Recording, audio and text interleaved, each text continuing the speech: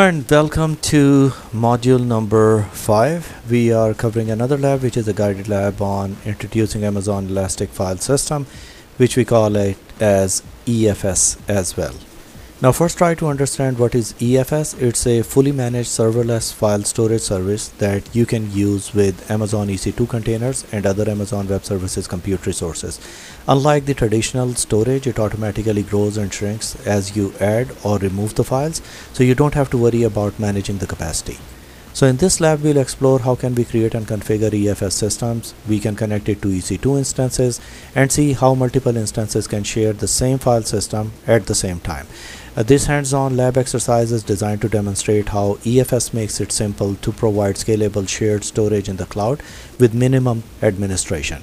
That's what they are talking about over here. The duration of it would be 30 minutes. Uh, and then we'll be starting from creating a security group to access our EFS file system. So in our first test, they are asking creating a security group to access your EFS file system. In this one, they are saying to go to EC2 and then choose the security group um, security group ID would be there and then note down the security group ID and uh, follow rest of this stuff so first of all we'll go to the um, canvas or the actual console of it so once you're here click on EC2 and click on EC2 instance. And then look on your left hand side you'll find security groups under network security. Click on that one. And here you can see the EFS client. Click on this one. So since they asked us to copy the security group ID note that it would be different in your case. We'll copy it and we'll paste it on a notepad. So copy down the security group ID next they are saying choose and create a security group and then create a security group name. So we'll copy this information also from here and we'll paste it on our notepad so that we can paste it later. So once it's copied we'll go back to our security groups. And now we'll create a security group and for that you'll click on create security group then we'll go to our notepad file and we'll copy the EFS mount target as the security group name from here and we'll paste it here. And then we'll go back to the notepad file and look for the description of it paste it here. And then they are saying in VPC select lab VPC and for VPC we'll select lab.vpc next is they are saying that under the inbound rules add a rule and type NFS and then in the source click custom and then paste the security group ID that we copied earlier and then create a security group. So we'll click on add a rule and then look for NFS in this one. So in the search field you can type NFS then we'll keep source as custom and we'll copy the security group ID from here that we copied earlier and we'll paste it in here. Once that's done just scroll down and hit create security group. Now as you can see it has shown that a security group has been created now let's read the requirements for task number two, creating an EFS file system. They're saying choose and create a file system that create a file system, click on customize.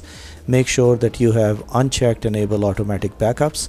Then we'll go to lifecycle management and in that one we'll select none and then tags as name and our first file system. So I'll copy it again from here and I'll keep a note of these details also. So since we are working on EFS, we'll have to search for EFS, Managed File Storage for EC2 and click on Create File System. So we'll not make any changes over here. We'll just click on Customize. So as they were saying, uh, uncheck this thing automatic backup. So we'll uncheck it.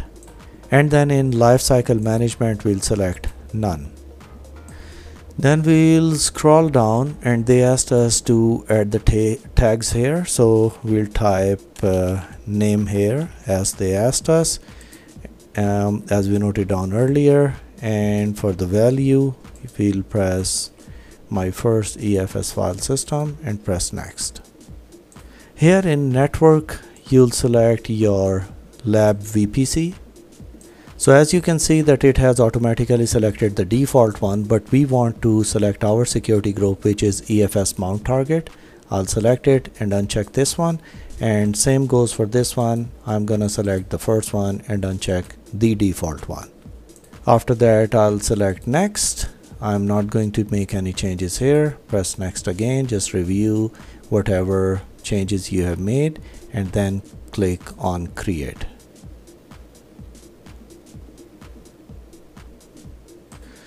so we completed up to here. Now we are continuing connecting to you uh, your ec2 instance and they are saying that click on aws details and copy the url from there and then we'll be performing certain operations on shell. So we'll click on aws details and we'll copy the url which is over here. And then just open another tab on your browser and paste the URL, you'll get something similar to this one. After that, they're saying to copy some of the commands from here and run it over there. So we'll copy the commands from here. So we'll paste the first command in here, press enter. Now paste the second command here as well and press enter. Next they are saying um, copy this command and paste it over there so we'll paste this command here. Next they are saying go back to your console and uh, click on my first EFS file system. So you're here Amazon EFS click on my first EFS file system and then click on attach. And we'll copy this URL from here and paste the URL in here press enter. In next step they are saying to copy this command also and run in run, it in your console. So we'll paste this command here and press enter. As you can see that it's telling us about the disk file system now next step is examining the performance behavior of your new EFS file system. So in that one they are saying that copy and paste this command. We'll copy it and then we will paste it here and press enter. Now as you can see that it's working on it so we'll wait for a while. In next step they are saying monitor the performance by going to CloudWatch so we'll close this one and we'll type in here CloudWatch and then click on this one. In this one you'll click on metrics and click on all metrics. Meanwhile if we'll go to our command line interface the last uh, command that we pasted up here it has been successfully completed and out of all these metrics we'll be clicking on EFS and then click on file system metrics. That's what we are doing as mentioned over here. And then they are saying go to permitted throughput. So as we can see it over here. So it depends for how long uh, you have configured it as it's showing that on the y-axis bars in the line graph you could see the activity on that and they are saying just perform the same operation for the permitted throughput and look at the data write IO bytes.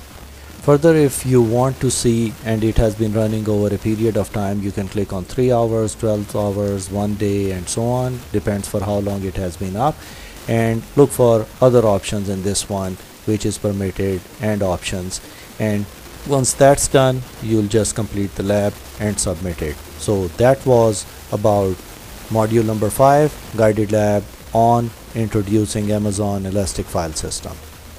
You can explore it further as they are saying data writes, IO blocks and check different statistics that if you are getting any information for them or not. So that was our lab. I hope you understood it. That's it for today. Thank you very much.